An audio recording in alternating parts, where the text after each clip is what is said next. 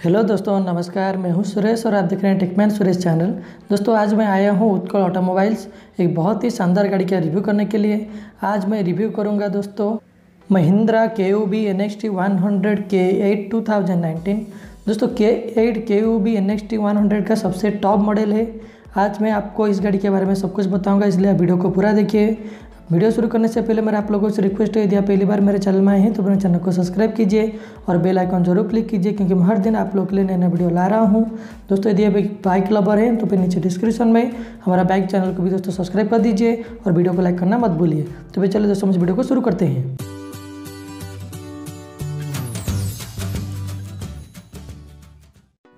K U V N X T one hundred का chrome finish में badging आप गाड़ी के सामने दोस्तों देख सकते हैं।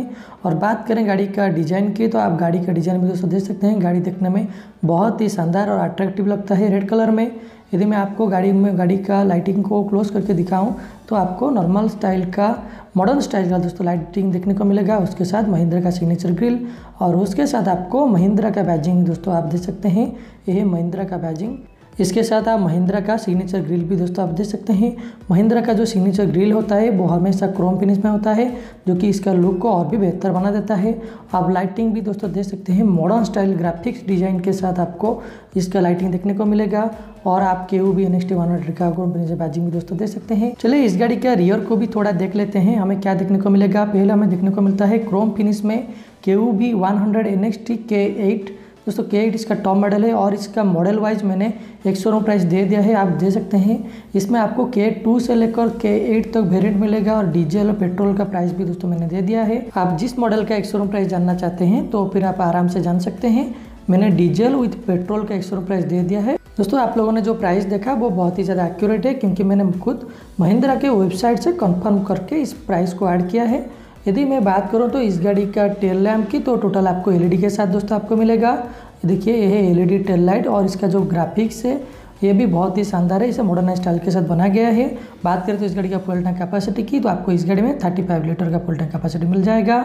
बात करें तो इस गाड़ी का टायर्स की, दोस्तों, आप देख सकते हैं, इसमें आपको आला व्हील स्टाइलिश आला व्हील देखने को मिलेगा इस गाड़ी में और इसका दो वेरिएंट आपको देखने को मिलेगा। के टू के फोर में चौदह इंच का टायर के सिक्स के एट में आपको पंद्रह इंच का, दोस्तों टायर मिल जाएगा और उसका साइज़ में थोड़ा चेंज होता है।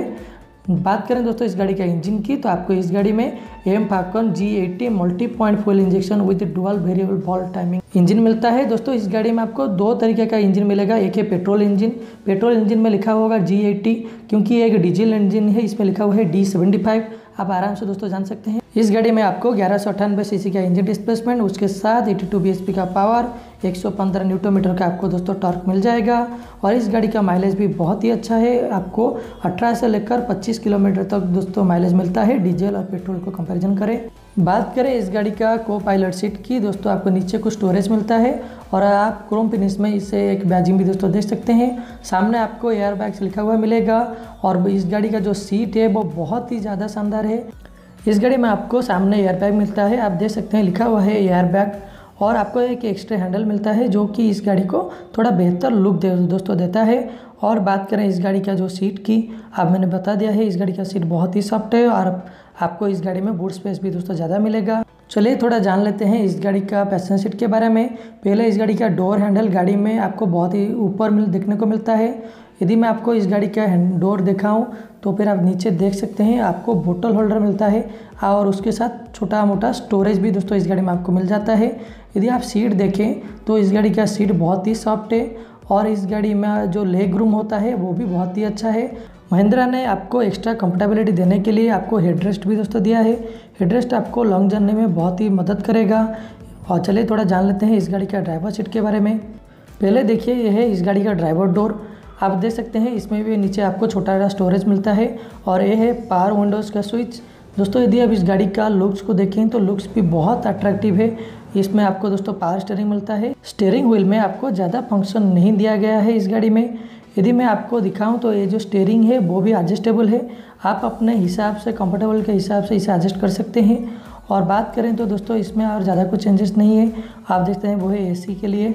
और यदि मैं आपको दिखाऊँ इस गाड़ी का इंस्ट्रूमेंट कंसोल तो फिर आप लेफ़्ट साइड में आर मीटर राइट साइड में स्पीडोमीटर और बीच में एक छोटा सा डिजिटल मीटर दोस्तों आप देख सकते हैं।